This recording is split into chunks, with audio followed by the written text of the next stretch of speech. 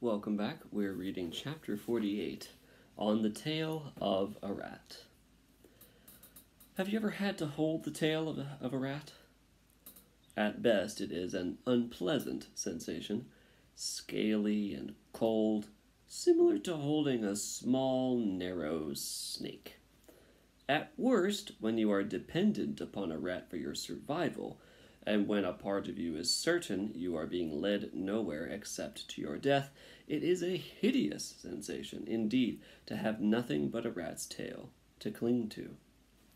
Nonetheless, Despereaux held on to Botticelli Remorso, and the rat led him deeper and deeper into the dungeon.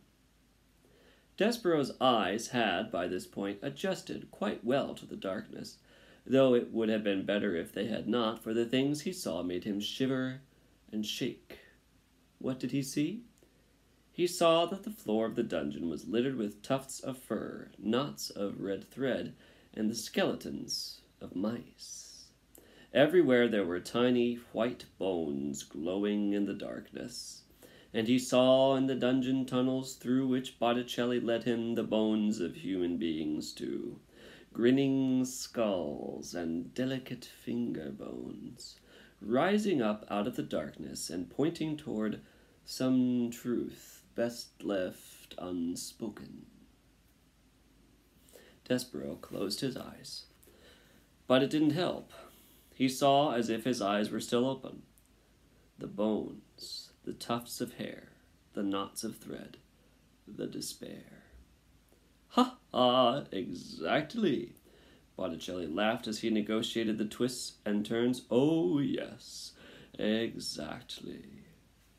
If what was in front of Despereaux was too horrible to contemplate, what followed behind him was, perhaps, even worse. Rats. A happy, hungry, vengeful parade of rats, their noses up in the air, sniffing, sniffing, Here's Despereaux trailing along behind Botticelli Remorso as he swings his locket, grasping the rat the rat's terrible tail. See the crowd of rats in the distance behind him. Mouse! sang out one rat joyfully. Oh, yes, mouse, agreed another, but something else too. Soup! called out another rat. Yes, soup, the others agreed. Blood, sang a rat. Blood, they all agreed together. And then they sang, Here, mousey, mousey, mousey, here, little mousey. Botticelli called out to the other rats. Mine, he said, this little treasure is all mine, gentlemen and ladies.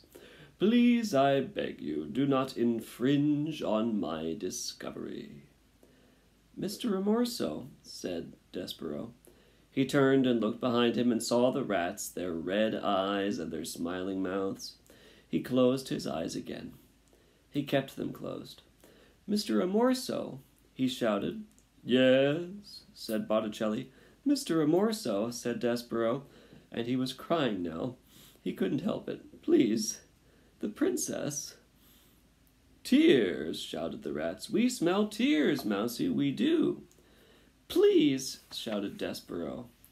Little friend, said Botticelli, little Despereaux Tilling, I promised you, and I will keep that promise.